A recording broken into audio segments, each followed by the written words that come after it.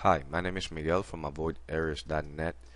In this tutorial, I'm going to show you how to successfully create a VPN server using Windows XP.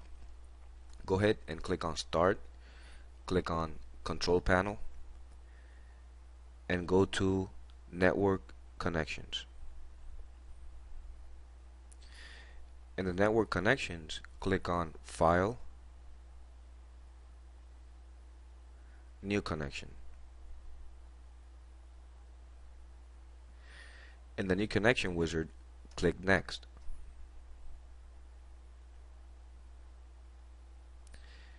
In the network connection type, select Setup an Advanced Connection and click Next.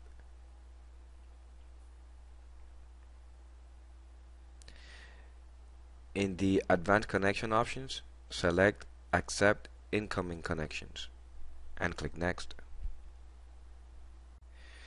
In the uh, devices for incoming connections, go ahead and click Next unless you have a specific device that you want to use.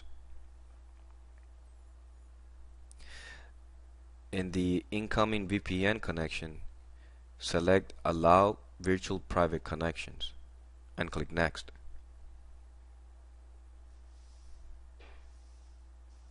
Now select the user. In my case, I selected Edit, which I already configured, and then click Next. Now here, a lot of people just click Next. Before you click Next, you got to go to Properties. And by default, it's going to look like this. If you leave it like that, it'll probably prompt you with an error. So go ahead and select Specify a TCP IP address and select an IP range. In my case, I selected a total of 11. So it's 192.168.1.110, I'm sorry, 120 throughout 130. And then click OK. And then click Next. Now finish the wizard. And you're done. You have successfully completed the VPN server for Windows XP. Now we're going to test it. I'm using a Windows 7 in my network. So unfortunately, I can't use a Windows XP because I have a mixed operating system in my network. So let's begin. In Windows 7, go ahead and click on Start. Go to Control Panel.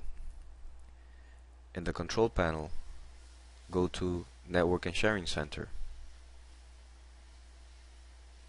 In the Network and Sharing Center, click on Set up a new connection or network.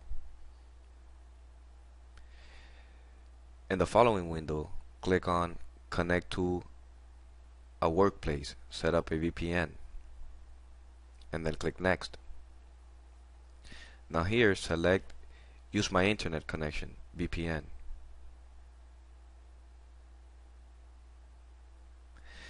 And now where it says internet address, type the IP address where you're hosting your VPN server.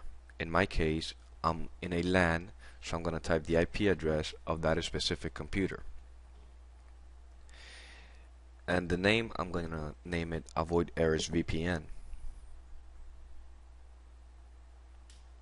The internet address can be a WAN IP address, a LAN IP address, it can be many things.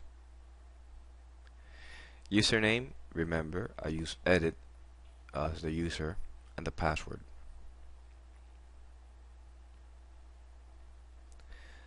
Now I'm going to click connect. It should be successful.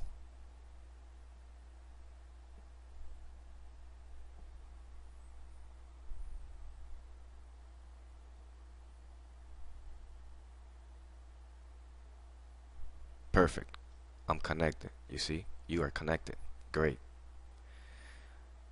Now I'm in the avoid errors VPN. It's perfect. I connected. Now I'm going to show you what would happen if I didn't configure those IP addresses in the uh, Windows XP uh, VPN server.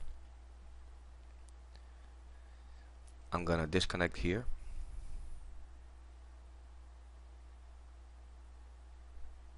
And now I'm going to the um, Windows XP. I'm going to right click my VPN click properties I'm gonna select the network tab. Oops sorry. A network tab. And I'm gonna make sure I have uh, TCP IP selected and then go to properties. Now here I'm gonna remove it. I'm gonna leave it default and then click OK then apply and I'm gonna go back and test my connection and see if it comes up with any errors select it click next. I'm gonna type my username and password.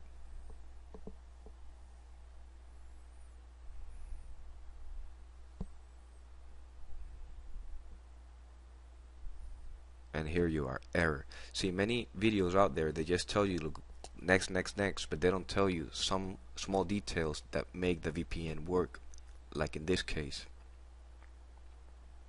now I'm gonna go back to the Windows XP server. Right click properties again. Go to networking tab and then make sure that I have the uh, TCP IP selected and click properties. Now here I'm gonna select specify a TCP IP address and then click OK. You see my range? 120 to 130 click OK. Apply go back to my client and then just click on redial and immediately connect it you see?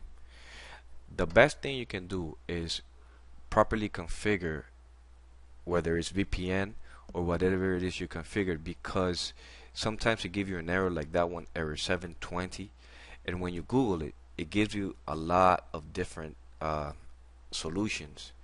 And the best thing to do is have like a properly configured VPN or whatever it is you're configuring. So thank you for watching this video. My name is Miguel. Feel free to email me if you have any questions. Thank you